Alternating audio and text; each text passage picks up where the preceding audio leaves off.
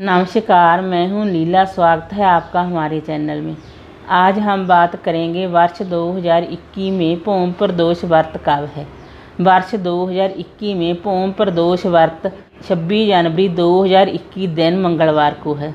अब बात करेंगे त्रौथी तिथि कब से कब तक है? त्रौथी तिथि शुरू होगी 25 जनवरी 2021 दिन सोमवार को, रात्रि दस बजकर अठवंजा मिनट पर।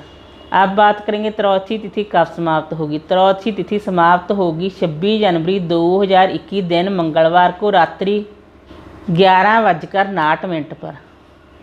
कर्ज संबंधी परेशानी हो, बहुत सारा कर्जा हो गया हो, ओम प्रदोष व्रत बहुत ही लाभकारी व्रत है।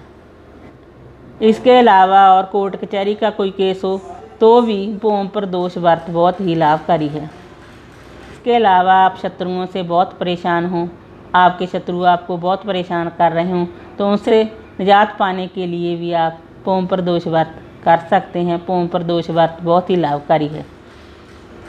पोम प्रदोष व्रत के दिन भी भगवान शिव जी की पूजा की जाती है। इसमें जातक के जीवन में मंगल ग्रह के कारण मिलने वाले अशुभ प्रभाव में कमी आती है। वीडियो अच्छी लगी हो तो लाइक कीजिए, शेयर कीजिए, सब्सक्राइब कीजिए। Thanks for watching this video.